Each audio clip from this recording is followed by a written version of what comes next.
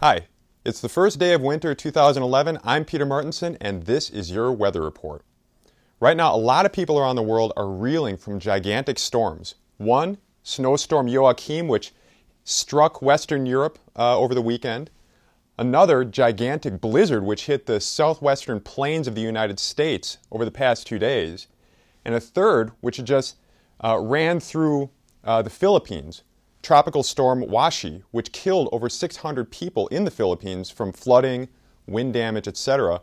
And it's right now the most deadly storm on record for 2011.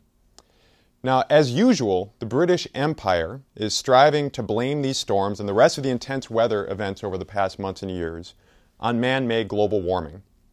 In British language, it's the fault of human progress. Of course, the whole story is bunk, but there's one aspect that both the British warmists and the sane deniers agree on. To drive terrestrial weather, sit in the Arctic cockpit.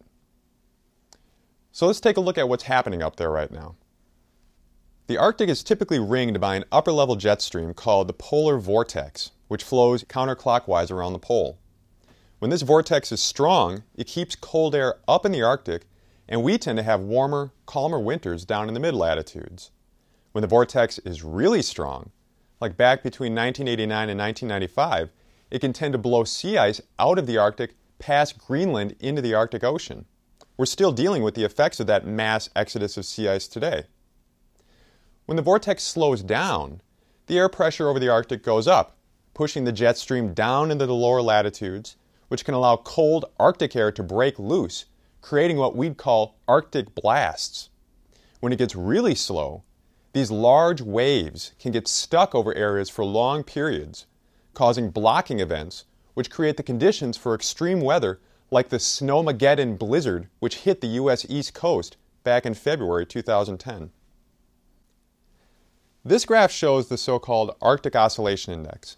When it goes into the positive, that means that the polar vortex is very strong. When it goes into the negative, that means that the polar vortex slows down and you have the potential for these wild uh, weather patterns that we've been seeing recently. Now, if you look closely on December 18th, the Arctic Oscillation Index swept into the negative, which means a slowing of the polar vortex.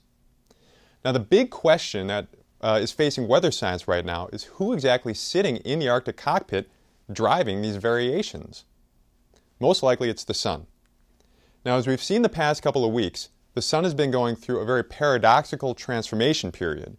It may be at solar maximum right now, judging by the sunspot number, but it's a strange solar maximum. X ray output is extremely weak right now. Indeed, two days before the Arctic Oscillation Index went negative, X ray output dropped significantly and it's almost flatlined since then. On the other hand, if you look at the ultraviolet radiation output of the sun, it's skyrocketed almost up to the levels that we saw during the last solar maximum uh, 11 years ago. Um, Indeed, over the past several days, there have been very wide variations in ultraviolet radiation. And if you just look at the sun in ultraviolet, it's very active, very dynamic. A lot is happening on the sun in the ultraviolet regime.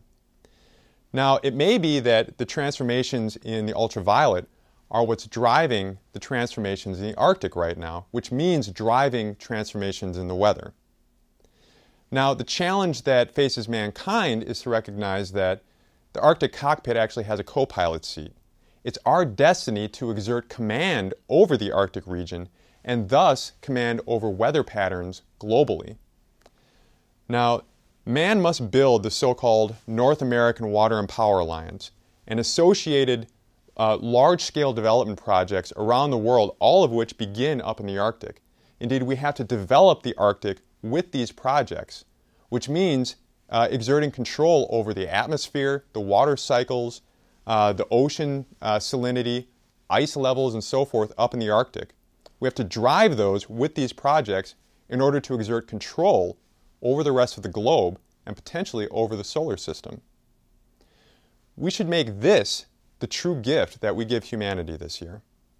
Thank you.